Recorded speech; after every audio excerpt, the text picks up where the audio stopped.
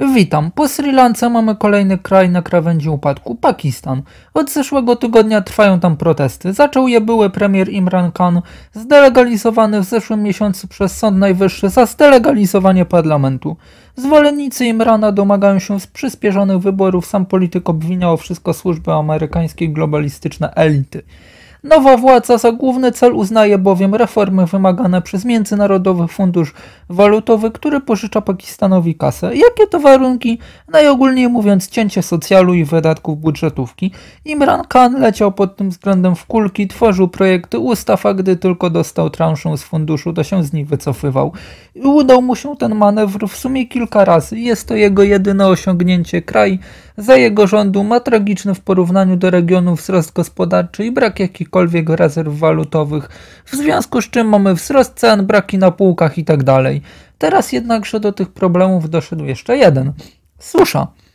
Pakistan leży w strefie podzwrotnikowym i jest krajem w dużej mierze pustynnym.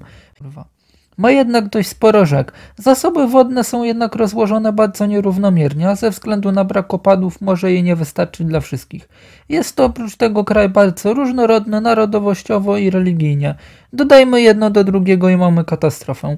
Władze prowincji Baludżystan, zamieszkiwaną głównie przez mniejszość Baludżów, która zmaga się z kryzysem humanitarnym spowodowanym brakiem wody pitnej, 85% mieszkańców prowincji nie ma do niej dostępu, oskarża w tej chwili władze Pandżabu, największej prowincji, przez którą przepływają praktycznie wszystkie rzeki, o sztuczne blokowanie przepływu wody za pomocą tam w celu oszczędzenia jej dla swoich mieszkańców kosztem tychże mniejszości.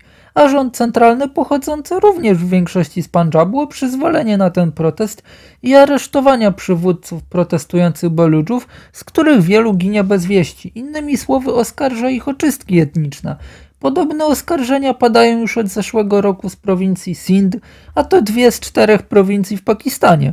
Nie mówiąc o tym, że część tych rzek również płynie przez Indię i tam ilość wody też jest mniejsza. Na północy kraju jest z kolei problem z uchodźcami afgańskimi. Pasztuni, którzy są największą narodowością w Afganistanie i z których głównie rekrutują się talibowie, są też bardzo liczni w Pakistanie, a sam ruch Talibanu był tworzony przy wsparciu pakistańskiego wywiadu. Oba kraje mają więc teraz dosyć przyjazne stosunki. Na tyle przyjazne, że polityczni uciekinierzy zostają masowo deportowani, no a Taliban na nich z kwiatami tam nie czeka. Dzisiaj mieliśmy protesty środowisk artystycznych po tym, jak władze zatrzymały z zamiarem deportacji czterech mężczyzn oskarżanych przez talibów o, uwaga, uwaga, publiczne granie muzyki.